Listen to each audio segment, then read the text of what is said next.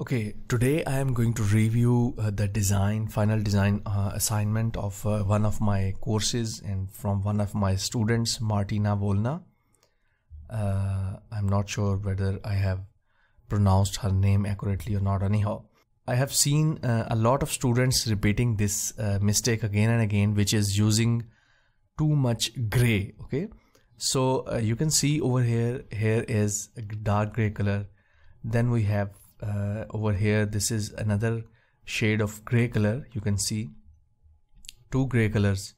And then you can see also in this uh, heading she is using another gray color.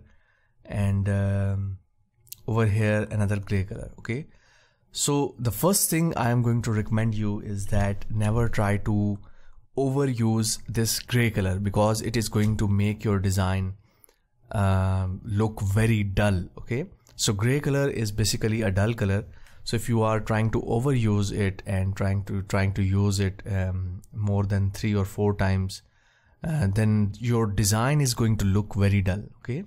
So instead of using just this plain gray color, what you can do is let me open up a new file. Um, let's open up a file for web and I'm going to use 1440 okay and uh, let's use something like that okay. Okay so instead of using something similar to this let me zoom out. Okay so what I uh, suggest you to do is so if this is your header okay for example this one. Okay so you can do is you can pick up some color from here and you can make it dull like this so now you can see the difference between these two colors. Okay. So this is also a gray color because but it is mixed with another color. So this is the first tip. Also you can do the same with uh, other colors. So if um, I'm going to add another color or another portion over here what I'm going to do is I'm going to use, uh, pick up this gray color and I'm going to slide my slider towards some blue color and just take something like this okay? So it is kind of bluish very light gray whitish color okay? So if I look at the color you can see it is F4 F6 F7 and RGB value is red is 244 246 247 okay so it is not a dull gray color. So this is going to improve your designs a lot. Okay so this is uh, a bit about colors. Now we are going to come to the alignment part okay? So I'm going to close this and I'm going to show what are the alignment problems over here. So a lot of students they uh, do this okay? So now you can see this is perfectly aligned this logo over here. But if you look at this alignment it is not aligned with this logo okay so uh, if I highlight this logo you can see it is at the top and it is at at the middle. So make sure you align them um, in the middle like this. Also you can decrease the uh, spacing between let me zoom in. Now you can see this spacing is inconsistent okay? So what you can do is you can just mark uh, a button like area like this and you write your text over here. So and make it in the middle. Okay so you can see now if I'm okay so each box should be the same size. So it is 86 this is 79 must be 85 or something like that.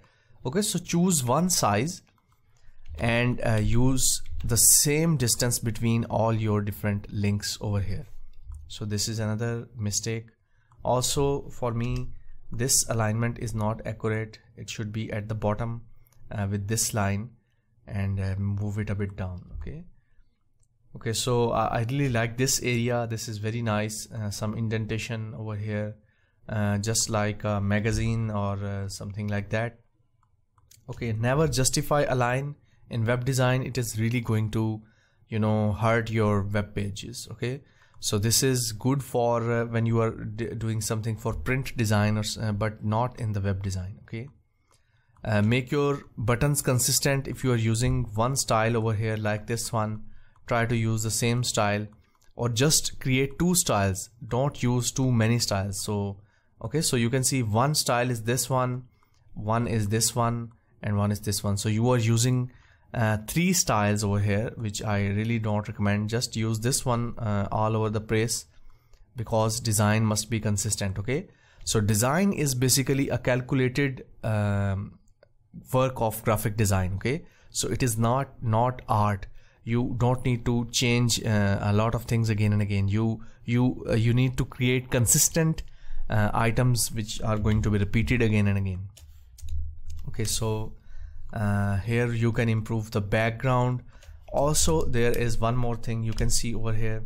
These are the headings. You can at least make them bold and uh, change the color to a bit darker uh, gray okay? So they look like headings. Okay then we have this area. This is looking good.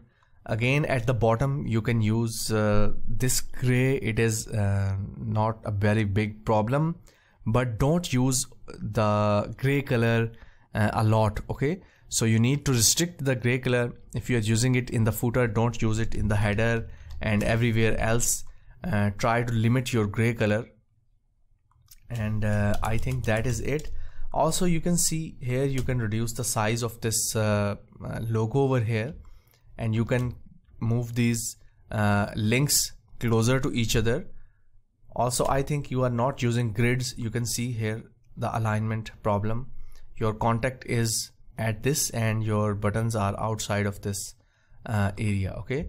So if you are aligning something into grids like you can see over here uh, this area looks like it is 50 using 50% of space and also this 50% over here. This is using 33% 33% and 33% or you can say four columns 4 4 4 12 columns. So you are designing using 12 columns. Don't make sure your items are not leaking out of that. You can extend your backgrounds like this one but not these uh, elements which you are going to interact with. Okay?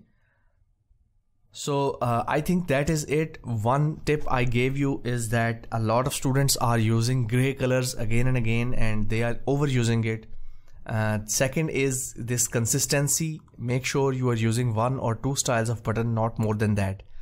Third is alignment. Always align your uh, elements on your design accurately. They are uh, going to be design is basically calculated ui design is all always calculated don't use this justify text make it left align or uh, maybe middle align. If you have very uh, small text like one or two lines you can middle align them center line them.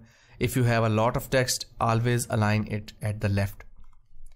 Okay? So I really like this style over here. This headings looks great. And uh, that is all about this design. Uh, I hope you will improve. Uh, a lot of students will get improvement from this designs. This is going to be my review session number uh, 7 or 8, I don't remember. But I'm going to upload this video to YouTube so you all can see it and uh, improve your designs further, okay? Uh, if I come up with another uh, very urgent update or very urgent tip to for newbies or the new designers who are transiting to this UI design world, I'm going to share it with you. Okay.